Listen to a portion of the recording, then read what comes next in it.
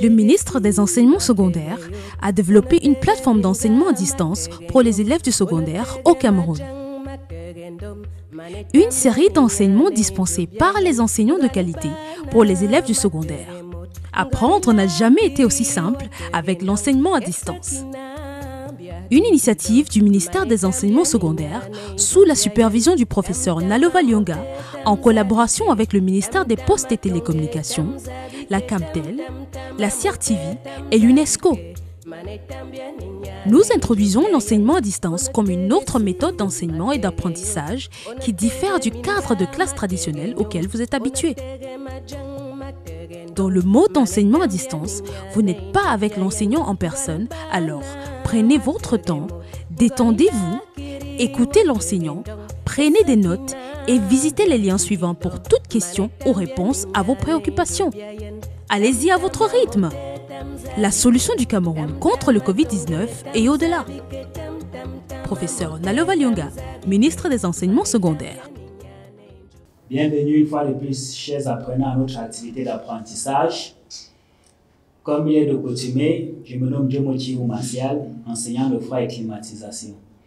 Là, nous continuons avec notre séquence, notre cours de réfrigération de base, séquence de thermocinétique, et nous commençons directement par la correction du devoir qui vous a été laissé la dernière fois en ce qui concerne la transmission de la chaleur par conduction. Alors, il était question pour nous, dans notre devoir, de calculer l'épaisseur E2 d'une chambre froide que Madame le proviseur d'un lycée de la place vous a demandé d'évaluer.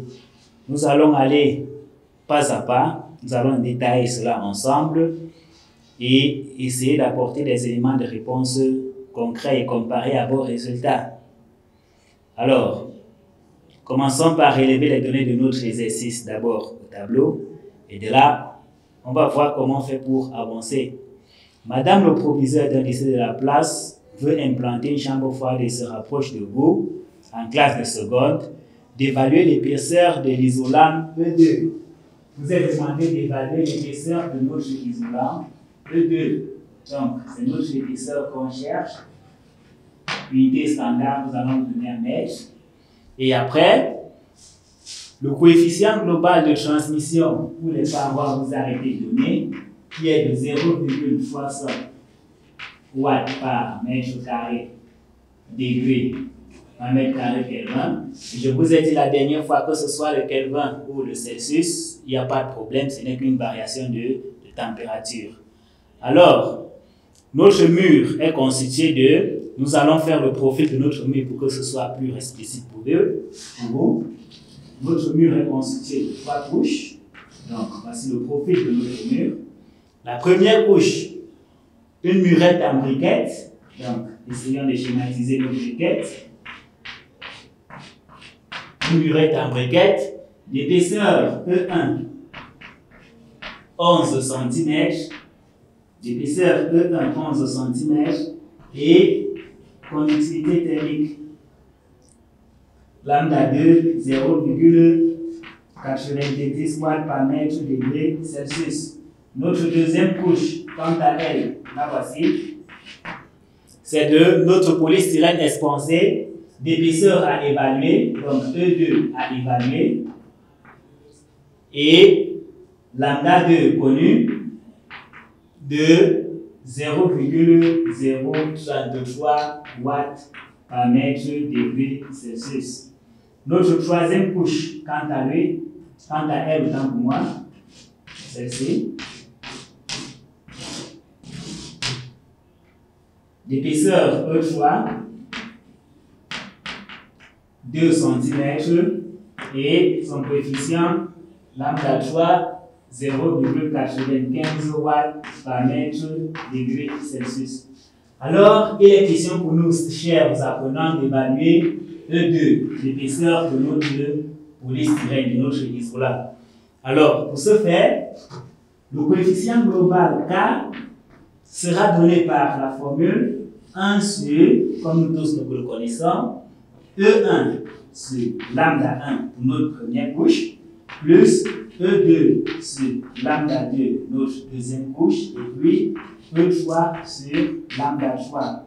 Alors, pour nourrir les questions maintenant de tirer E2, nous allons tirer E2 dans cette expression. Alors, pour ce faire, qu'est-ce que nous allons faire? Pour tirer E2, nous allons commencer par inverser notre expression. En inversant l'expression, nous aurons 1 sur K qui sera égal à E1 sur lambda 1 plus E2 sur lambda 2 plus E3 sur lambda 3.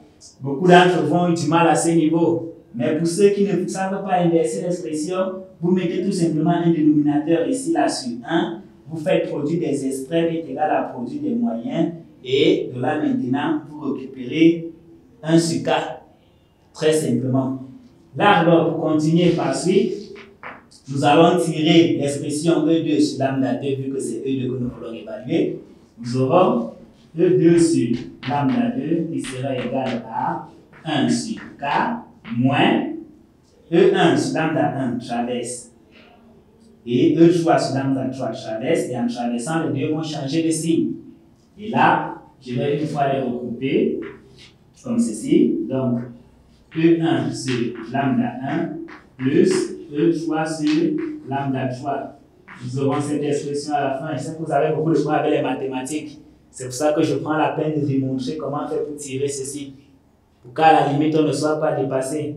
Alors, pour encore, pour évaluer maintenant notre E2, vous remarquez que produit des extrêmes fois produit des moyens, tout ce terme sur 1, lambda 2 viendra tout simplement multiplier tout cette, toute cette expression on aura tout simplement E2 qui sera égal à lambda 2 multiplié par, ouvrons là, 1 sur K, moins, parenthèse, expression mathématique, E1 sur lambda 1 autant pour moi.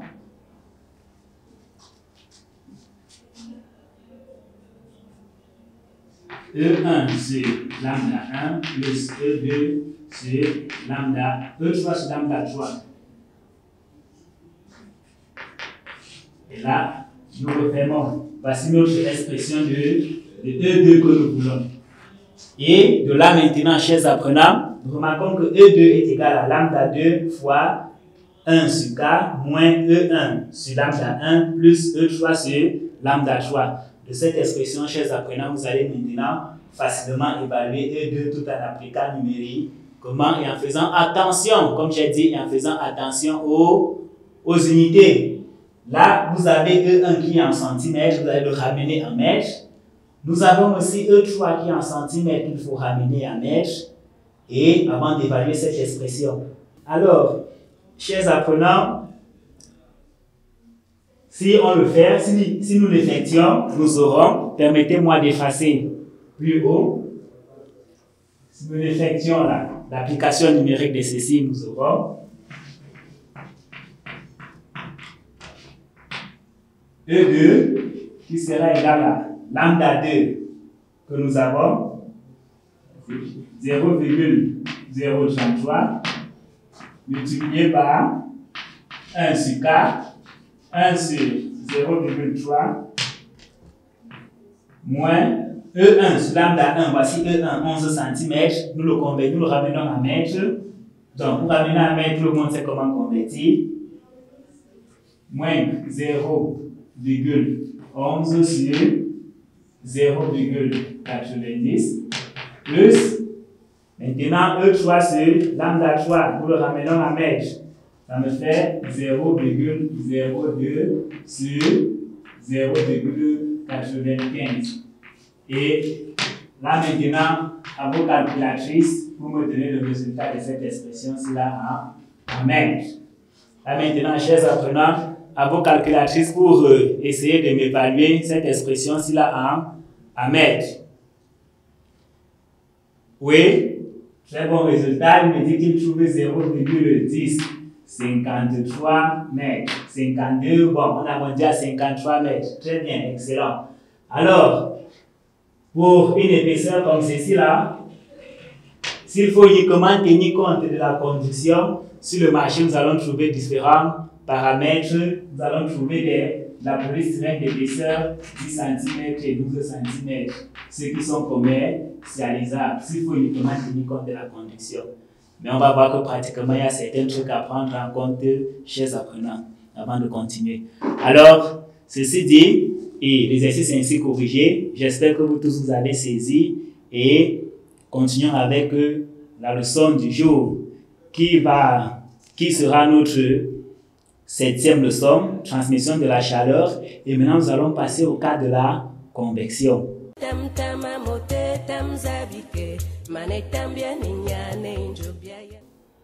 Alors, ceci dit, chers apprenants, notre plan de la leçon, comme nous le connaissons toujours, est défini comme vous le voyez.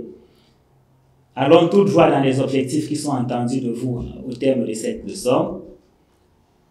Vous deviez expliquer le transfert, ce qu'on entend par transfert de chaleur par convection, appliquer les calculs et les formules liées à ce type de transmission de chaleur et enfin être capable de mallier, parce que j'ai vu beaucoup de tacs lors de la conduction, être capable de mallier ces formules-là au bout des doigts. Alors, comme prérequis, vous avez les notions sur les unités courantes, on les connaît déjà. Vous avez déjà les notions sur le transfert par conduction, qui est très nécessaire ici. Alors, pour une petite mise en situation, quand on observe la figure 1 et l'élément 1, qu'est-ce que vous puissiez, qu'est-ce que vous pouvez me dire quand vous observez cette figure? Qu'est-ce que vous allez me dire que représente l'élément 1 de cette figure? Et vous m'expliquez brièvement ce que vous voyez dans cette figure et vous me dites le type de transmission mis en, mis en jeu ici. Regardons bien ensemble. L'élément 1, c'est de quoi? Oui, la flèche. Non, ce n'est pas la flèche. Il y a des flèches à l'intérieur, mais ce n'est pas la flèche. Oui, l'eau. Oui, très bien. Dit que l'élément 1, c'est de l'eau. C'est de l'eau. Maintenant, ton camarade a dit la flèche. Quel est le rapport entre la flèche, entre cette flèche et cette eau-là? Personne? Ok, je vais vous aider. Supposons que de l'eau bout ou bien de l'eau dans cette mamie est mise à est en train de chauffer et elle est en train de bouillir. Alors, qu'est-ce que la flèche indique? Le sens de Oui, excellent. Le sens de circulation de, de la masse d'eau. Il m'a dit le sens de circulation de la masse d'eau. Très bien. Donc, l'essence des flèches indique tout simplement le sens de circulation de la masse d'eau dans notre marmite. L'eau surchauffée en bas devient très dense. Et maintenant, quand elle devient très dense, elle a tendance à remonter en, en surface. Et l'eau moins dense qui est au-dessus revient vers le bas pour être chauffée et remonter. Et ça forme un, un cycle. Et de là maintenant, vous voyez que ce transfert de chaleur qui s'effectue entre ces molécules d'eau-là, c'est ce qu'on va appeler le transfert de chaleur par, par convection. Je vais vous présenter la réponse d'un de vos camarades ainsi brillant que j'ai retenu. Il m'a dit qu'il voit une marmite au feu avec de l'eau et que l'eau était bouillante. Et puis il m'a dit, l'élément 1 est de l'eau bouillante avec des flèches indiquant le courant de circulation. Très valide. Et il conclut en disant que la transmission mise en jeu ici est la transmission par convection. Et je vous l'ai dit, quand ces masses d'eau reviennent en bas, elles sont échauffées et remontent. Et vous voyez, ça forme un, un cycle. Alors, commençons par définir ce qu'on entend par transmission de chaleur par convection. La transmission de chaleur à travers un fluide dans un même corps ou entre deux corps est ce qu'on va appeler la transmission de chaleur par, par convection. dès lors que vous avez déjà un fluide mis en jeu, ou entre deux corps, vous avez la convection. Comme l'exemple de notre feu et de la main de celui qui tenait la barre de fer. Entre ce feu et cette main-là, nous avons eu de la de la convection, comme vous l'avez remarqué sur l'exemple pris lors de la conduction. Alors, quelques exemples de convection que nous puissions aussi avoir. Si nous introduisons dans un réfrigérateur, dans un réfrigérateur un aliment, ça peut être du poisson, de la viande, je ne sais pas quoi, beaucoup d'autres. Le transfert de chaleur se passe par convection de la denrée au fluide frigo, frigorigène. Donc, vous remarquez que le fluide qui circule au niveau de l'évaporateur absorbe de la chaleur de la, de la denrée. Et il absorbe cette chaleur-là maintenant, comment? Par, par convection. L'action du ventilateur sur une personne est un mode de transfert de chaleur par convection. Quand il fait chaud, le ventilateur que vous avez à la maison, vous le mettez à marche, vous placez là, de l'air souffle sur vous. C'est de la convection, ce transfert de chaleur-là. Nous avons encore plein d'autres exemples tels que la circulation du fluide s'effectuant par jeu de variation de, de densité, comme dans notre mamite. Vu que l'eau étant chauffée plus bas, lorsqu'elle devient, lorsque les molécules de chauffée plus bas deviennent plus denses, elles remontent en surface, ceux qui sont moins denses redescendent et le cycle va tourner on aura un tournant, un cycle tournant. Donc la masse d'air remonte. Et ce mouvement-là sera un mouvement, ça sera un type de convection dit naturel, parce que c'est naturellement qu'elle s'effectue. Elle n'a pas besoin de l'action d'un truc extérieur pour forcer. Alors, par action extérieure, tel que votre ventilateur de maison, si vous mettez votre ventilateur de maison en marche et que de l'air passe sur vous, cette convection-là sera dit forcée parce que vous utilisez un actionneur, et cet actionneur-là qui est votre ventilateur. Alors, maintenant, comme dans la conduction, nous allons parler de la quantité de chaleur transmise à un corps.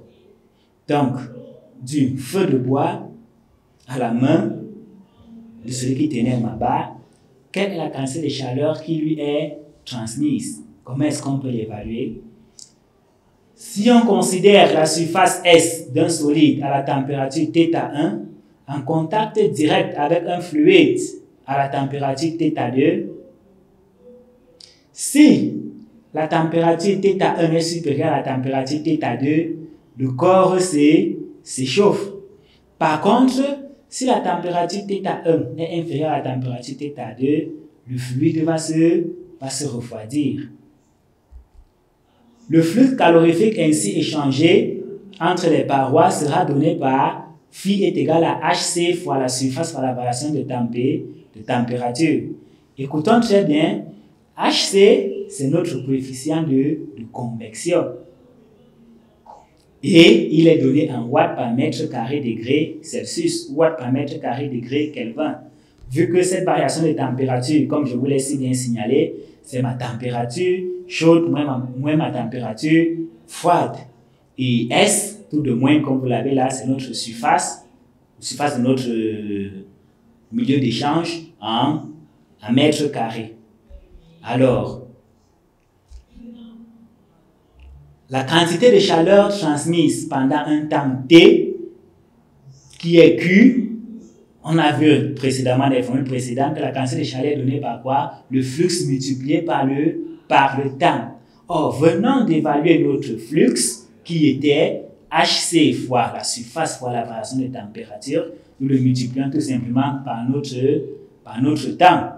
Et là, en ratio d'unité, nous aurons Q qui sera en joule, HC en watts par mètre carré degré Celsius et notre variation de température de jour, soit en degrés Celsius, degré Kelvin, c'est une variation. Et notre température en, et notre temps, autant pour moi, en secondes. Donc, ceci dit, nous allons maintenant parler de ce qu'on entend par coefficient de convection, le HCC. Ce monsieur, énonçons-le un peu. Qui est-il? Voyons-le. Le coefficient de convection, c'est quoi? C'est la quantité de chaleur qui traversera en une heure une surface d'un mètre carré au milieu ambiant. Lorsque la différence de température entre les deux surfaces et le milieu ambiant est de 1 degré. Remarquez très bien. Surface 1 mètre carré, différence de température 1 degré pour toutes ces variations-là. Et on le désigne par H. Voilà son symbole H et il s'exprime en watts par mètre carré Kelvin ou watts par mètre carré degré, degré Celsius. Alors, qu'est-ce qu'il faut savoir? Il faut savoir que pratiquement, dans la pratique, les deux modes de transmission de la chaleur qui sont la conduction et la convection ne sont pas dissociés. D'où l'expression du coefficient de transmission globale K pour une couche N d'un mur vous sera donnée par la formule suivante. Et vous voyez que cette formule tient en compte la convection interne, 1 sur HI, convection intérieure, et la convection externe, 1 sur HE. Et tout au milieu, nous avons notre conduction qui s'établit sur, sur N couches. 1, 2, 3 jusqu'à N couches. Alors, sur ce dit, regardons notre exemple que nous avions ici au tableau, notre profil du mur. Observons ensemble. Si notre chambre froide, voici sa paroi intérieure, voici l'intérieur de notre chambre froide, et voici l'extérieur de notre chambre froide. Ici. Ici, là, nous avons un transfert de chaleur ici, là, du milieu ambiant, là, jusqu'à cette paroisse là, par le convection. D'où nous sommes caractérisés par ce HE. Caractérisé par le HE qui est le coefficient, qui est le coefficient de, convection extérieure. Et vous le voyez sur la formule. Là, l'intérieur de notre chambre froide aussi ici, caractérisé par notre coefficient de convection H, HI, vu qu'il y a convection entre l'air qui circule souvent dans le ventilateur, notre évaporateur placé là, et cette paroi-ci, nous avons convection. Et entre les masses d'air aussi, entre elles, nous avons convection. Donc, nous, notre HI ainsi présent. Et là, nous savons que la chaleur se dépasse du milieu, le point le plus chaud le point le plus froid. S'il faut faire notre profil du milieu, nous sommes à température extérieure ici, nous aurons quelque chose comme ceci, avec une croissance de température. Jusqu'à une température, par exemple, supposons que nous sommes au moins 5 degrés, et là, nous sommes à 26 degrés, notre température extérieure. Donc, chers apprenants, voilà comment sera donné notre cas, comme vous le voyez là, définitivement et pratiquement. Alors, en résumé, chers apprenants, le transfert de chaleur à travers un fluide est appelé convection. Elle se caractérise par un coefficient de convection noté H et s'exprime en watts par mètre carré degré Celsius ou watts par mètre carré degré Kelvin? Alors, chers apprenants, pour consolider, pour essayer d'acquérir la notion que nous venons de voir, nous allons vous soumettre à un exercice d'application.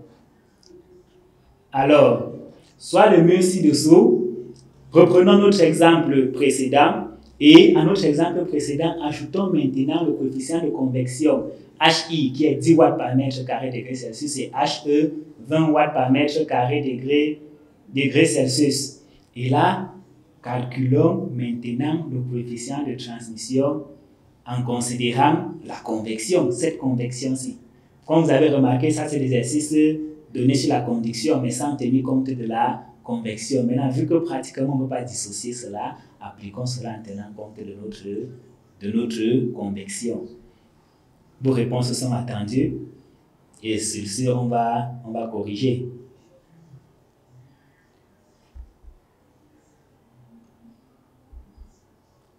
Alors, j'ai reçu toujours beaucoup d'éléments de réponse, mais maintenant, on va passer au tableau pour démontrer parce que je voulais une courbe profil du mur. Beaucoup d'entre vous m'ont apporté des réponses et comme euh, précédemment, votre ami, vos amis et beaucoup d'entre vous m'ont donné des réponses très énormes, mais il fallait d'abord remarquer avec nous que la paroi est constituée de, de trois couches. Et de ces trois couches maintenant, donc une, deux et trois, ces trois couches maintenant, nous tenons compte de la convection, c'est-à-dire à, l'intérieur de notre salle. De ce côté-ci, comme vous pouvez voir, enduit intérieur, de intérieur de la chambre froide, et HE à l'extérieur de la salle, du côté précédent, suivant. Alors, La formule du coefficient global, premièrement, sera donnée par K est égal à 1 sur, 1 sur HI plus E1 sur lambda 1 plus E2 sur lambda 2 plus E3 sur lambda 3 plus 1 sur H sur HE. Là, on a tenu compte du coefficient de convection intérieur et extérieur et la conduction qui s'effectue sur nos, sur nos trois couches. Enduit extérieur, polystyrène et notre enduit intérieur. Alors, en évaluation, beaucoup d'entre vous m'ont posé la formule, mais l'application numérique a semblé très difficile. Là, je ne sais pas pourquoi. Tu me mets une formule et appliquer numériquement te dépasse. D'autres ont encore oublié de convertir les unités, de quitter le centimètre à mètre. Mais néanmoins, voilà ce qu'il fallait faire.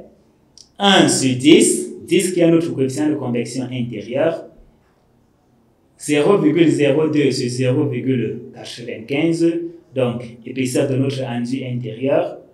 0, épaisseur de notre enduit intérieur sur coefficient de conduction de notre enduit intérieur, 0,10 sur 0,033, épaisseur de notre polystyrène, 0,10 sur coefficient de conduction thermique de notre polystyrène, 0,033. Et là maintenant, 0,15 épaisseur de notre brique sur 0,099 le coefficient de, de, conduction thermique de notre, de notre brique de terre. Et enfin, 1 sur 20, et le 20 qui représente notre HE, qui est le coefficient de convection extérieure. Ceci fait et évalué, nous nous retrouverons à 4, au dénominateur qui nous donner quelque chose comme 3 sur 3,368. Vous pouvez calculer à la maison.